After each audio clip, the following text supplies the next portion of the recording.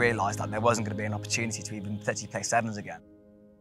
Then you're thinking about, well, how am I going to provide for my family? We were thought we were supposed to be going to the Olympics and now we haven't got a job. But at the same time, we're healthy, you know, we can still live and get through life. It's just something small that's been taken from our identity, but it doesn't mean that we, we're lost as people. I am joined here in the Loughborough Sun by a man who has scored more tries in the World Sevens game than anyone in history ever. Dan Norton, welcome to the open side. Norton, Norton skips to the outlet, skins him through the middle. Norton will be chasing the bounce here. Will it sit up for Dan Norton? Of course it will! So Dan, hello. We've we've caught you bang in the middle of Olympic prep with Team GB Sevens. How's training? Yeah, it's been good. Um, finding my lungs after being out for about 10 months, but um, enjoying being back with the boys, charging around. Days like this make it even more enjoyable. Do they build you into it nice and gently so it's not too hard? Um, yes, I suppose they do, to be fair. They did look after us. It's quite a, uh, a mixed age, but the old guys understand how to manage the loads and manage expectation as well. And that's you? That's me, yeah. So you've had all this time off. Um, so we'll rewind and we'll talk about the lockdown thing, if you don't mind, because it affects everybody differently, but I often think that elite athletes, in this case, elite rugby players, might be particularly affected because what you do relies so heavily on being around teammates. When you're on your own, firstly, physically, how did it affect you? What were you able to do? What could you be bothered to do? How was motivation?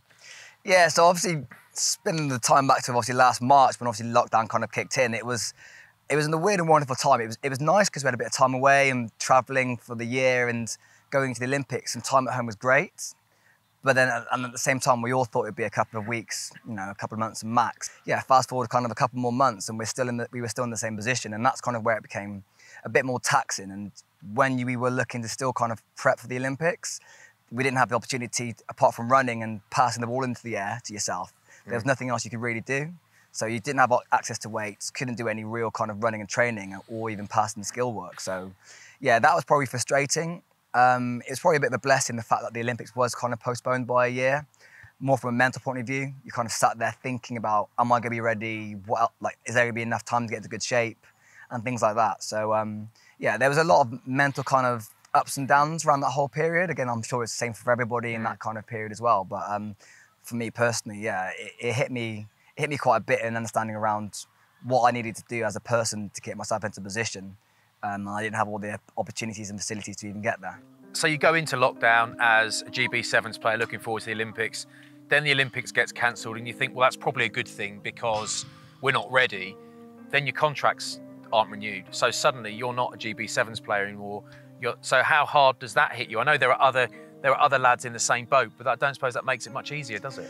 For us as a team, it, it was a prolonged kind of period of about from March onwards to kind of August. Um, and there was conversations on, on Zoom and we have weekly, uh, monthly kind of catch-ups and as, as much as they were rewarding to be seeing the guys again and having a bit of banter and having that kind of release of being back in that team environment, as it kind of got closer to the end of the contract, we realised that there wasn't going to be an opportunity to even potentially play sevens again. Yeah. And that's probably what really struck a nerve and those sleepless nights. And then you're thinking about, well, how am I going to provide for my family?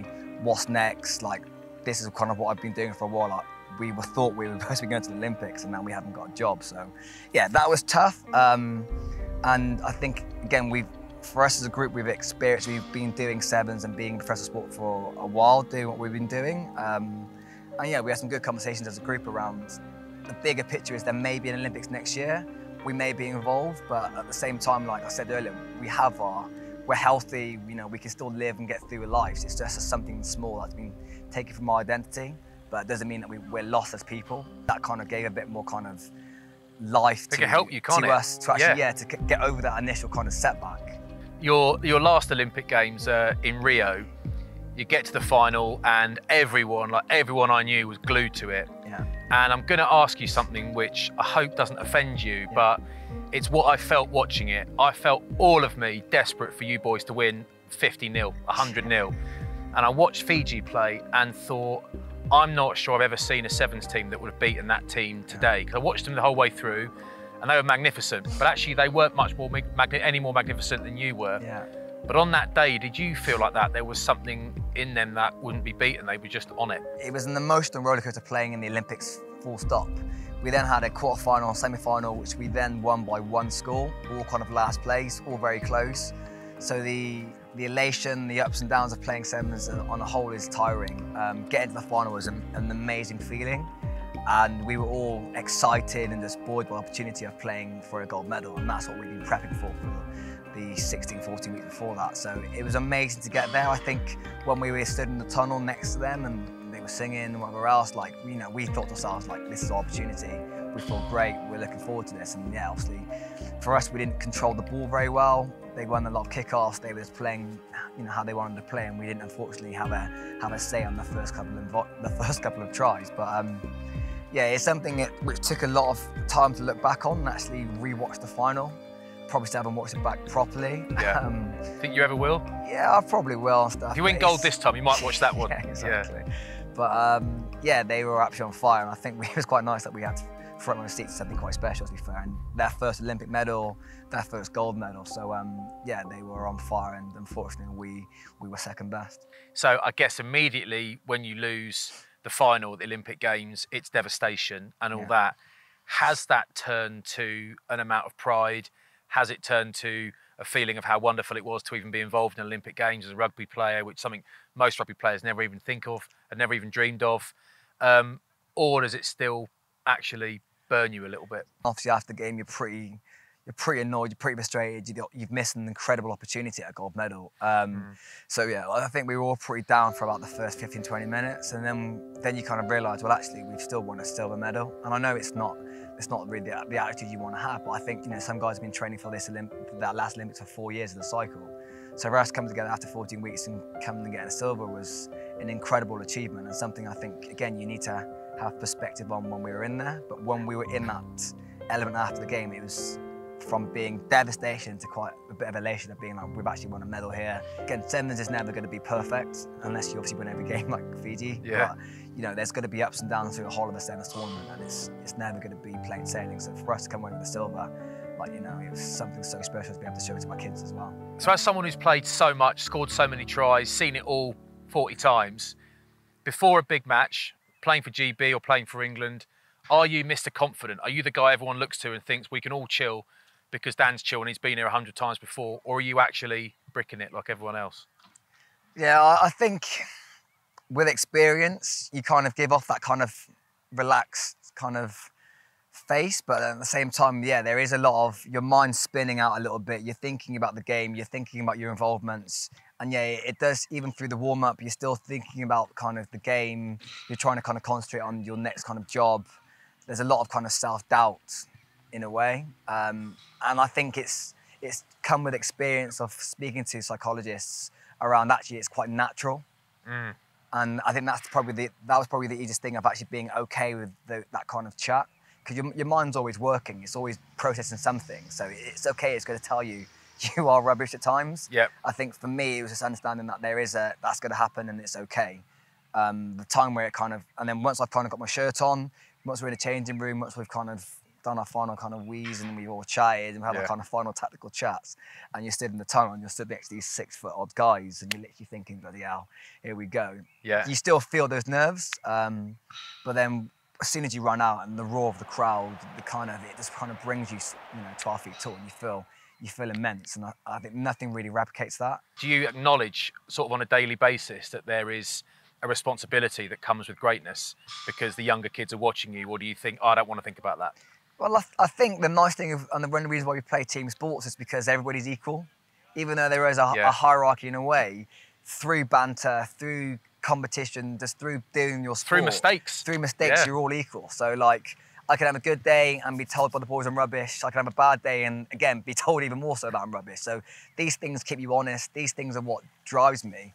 When we then go and then compete as a nation, as GB, as England, as whatever we are, like that opportunity to then showcase who we are in a training field on to the world is what is the most important and the most enjoyable thing an element. We all have an opportunity and responsibility to be role models as well. And we all can help those aspiring young kids fall in love with their sports fall in love with playing sport team sport rugby sevens. And that's kind of why is also probably one of the most enjoyable things about playing sevens. There are a lot of kind of kids and stuff who see you and have an opportunity to actually think one day that could be me. And Yeah. I was the same when I was 10, 12, growing up watching the Olympics, watching um, 15s rugby and stuff, and seeing those guys, and you kind of The Hong Kong Sevens. yeah, exactly. You kind of unassumingly kind of assume that's well, you kind of just take yourself into that mold, and you know we have that power to be able to inspire a generation, and that's something that you know I, I've only just realized. Well, I've realized as you get older and you see you see more people around the world.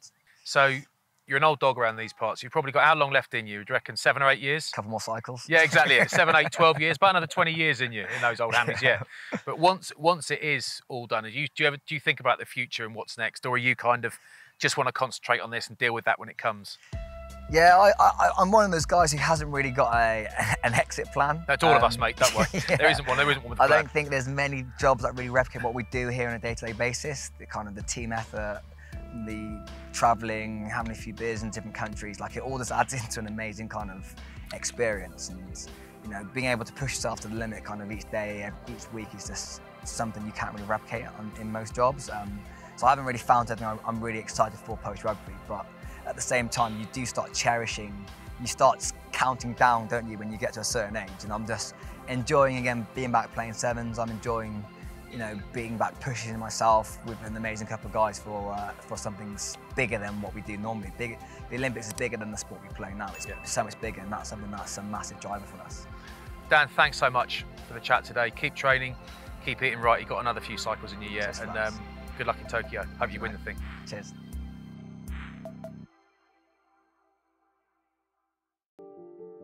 People just see the word gay and they expect you to have a shaved head and be really bulky. And it's just like, what era do you live in? You still get the standard comments like, you're too pretty to be a rugby player, you're too pretty to be gay. You could vote whether you wanted to kneel or if you didn't, but the majority of the girls said, yeah, we want to kneel, we want to show like our respect towards Black Lives Matter movement. For me, I just think, why not? Like, why, why wouldn't you? I was lucky doing athletics. I had loads of black athletes to look up to. If I can inspire the young girls that are coming through to play the sport, yeah, if I can do that, then my job's done.